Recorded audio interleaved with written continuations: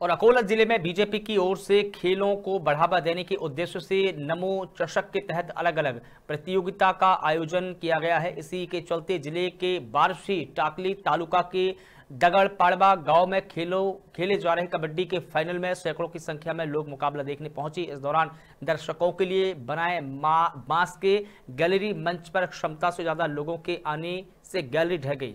जिससे वहाँ मौजूद सौ से ज़्यादा लोग नीचे गिर गए, जिसमें लगभग 27 लोग गंभीर रूप से घायल हो गए हैं। मौके पर मौजूद नागरिकों ने घायलों को बर्शी टाकले के उपचार केंद्र में पहुँचाया है, लेकिन 12 लोगों की हालत गंभीर होने के चलते उन्हें तुरंत अकोला के जिला हॉस्पिटल में रवाना किया है।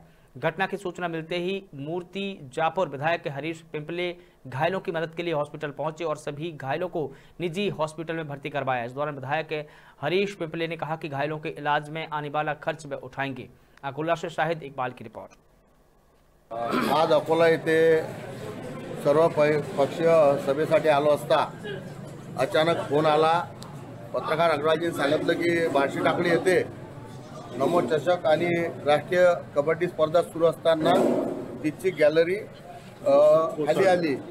तर त्या त्यामध्ये एक सात आठ पेशंट हे झालं आहे तर दोन चार जणाला हाताला फ्रॅक्चर झाला आहे एक दोन जणाला कमरील माल लागलेला. आहे आणि माणुसकी या नात्यानं सभा सोडून लगेच इथं आलो ज्या पेशंटला कमी मार आहे त्यांचं बाष्टाकडे ट्रीटमेंट घालून ते घरी गेले.